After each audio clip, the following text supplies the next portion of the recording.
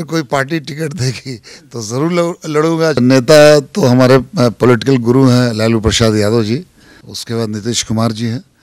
इन दोनों का मैं बहुत बड़ा फ़ैन हूँ। अगर किसी पार्टी ने लड़वाया तो लड़ेंगे ज़रूर, चुनाव ज़रूर लड़ेंगे। युवा पीढ़ी में जो है, तेजस्वी यादव जी हैं, और बड़ी उम्मीद है उनसे। अब उन्होंने क्या सोचा है, क्यों पलटी मारी है तो ये तो अब सब जनता बत, सब बताएगी। कोई ना कोई वजह तो होगी उनके पलटी मारने की। अगर किसी पार्टी ने लड़वाया तो लड़ेंगे ज़रूर चुनाव ज़रूर लड़ेंगे क्योंकि बिहार के खून में पॉलिटिक्स है।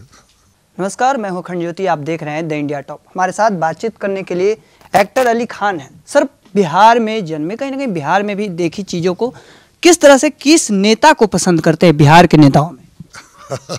देखिए हमारे जो नेता तो हमारे पॉलिटिकल गुरु हैं, लालू प्रसाद यादव जी, उसके बाद नीतीश कुमार जी हैं।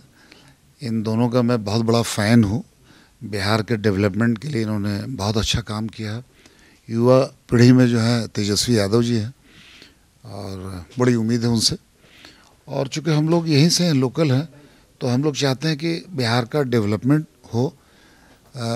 ज़्यादा से ज़्यादा कोशिश हो, जैसे कि अभी पटना में घूमा, रोड वगैरह देखा, तबीयत खुश हो गई। वैसे ही आगे भी मैं चाहता हूँ कि पूरे बिहार का डेवलपमेंट हो। एक एक गाँव में लाइट होनी चाहिए, अच्छी सड़क हो, पानी हो। पब्लिक को बेसिक चीज़ तो यही चाहिए ना। नीतीश कुमार इन्हीं चीज़ों को लेकर कहते हैं कि विकास के कारण ही हमने पलटी मारी। लगातार पलटी मारते हैं आठ नौ बार पलटी मार चुके हैं इस बार फिर पलटी मारे। किस तरह से देखते हैं? अब वो बहुत बड़ी बात हो जाएगी क्योंकि वो बहुत सीनियर है हमारे। अब उन्होंने क्या सोचा है क्यों पलटी मारी है? तो ये तो अब सब जनता बत, सब बताएगी बताएगी लेकिन ये कि कोई ना कोई वजह तो होगी उनके पलटी मारने की। बाकी अंदरूनी मामला तो ये पॉलिटिकल जो लीडर है वही दे सकते हैं जवाब इसका। क्या लगता है सर आने वाले समय में चुनाव लड़ सकते हैं? लोकसभा का भी चुनाव है चौबीस में पच्चीस में विधानसभा का बिहार में चुनाव। अब देखिए हम लोगों को तो एक कलाकार आदमी है अगर कोई पार्टी टिकट देगी तो ज़रूर लड़ूँगा चूँकि हर इंसान हर कलाकार यही चाहता है लास्ट में कि बुढ़ापे से पहले कम से कम पाँच साल के लिए अपने स्टेट अपने गाँव अपने लोगों के लिए कुछ करके जाओ। क्योंकि पूरी ज़िंदगी तो फ़िल्म इंडस्ट्री में स्ट्रगल करके एक पोजीशन हासिल किया मुंबई में।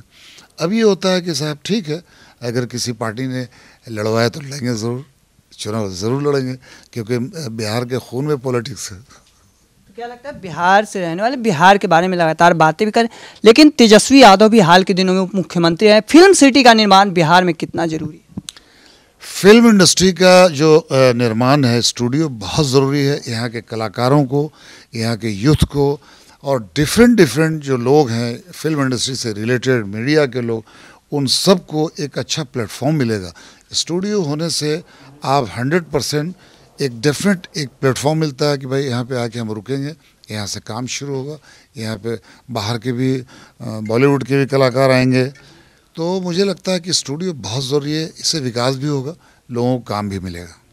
बहुत बहुत धन्यवाद सर। हमारे साथ बातचीत कर रहे थे सर अली खान जो एक्टर हैं, उन्होंने तमाम बातों को साझा किया, सरकार को लेकर, सीधे तौर पर इस बात को लेकर जानकारी दी कि हाल के दिनों में अगर इंडस्ट्री बनती है बिहार में इंडस्ट्री तो कहीं ना कहीं सरकार को तो फ़ायदा होगा, यहाँ के युवाओं को भी फ़ायदा होगा जो इस इंडस्ट्री में जाना चाहते हैं। हालाँकि इस चीज़ को लेकर उन्होंने यह भी बताया साफ़ तौर पर कि हमारे आदरणीय लालू प्रसाद यादव हैं और नीतीश कुमार को ही मानते हैं। हालाँकि इस चीज़ को लेकर आपका क्या मानना है कमेंट सेक्शन में?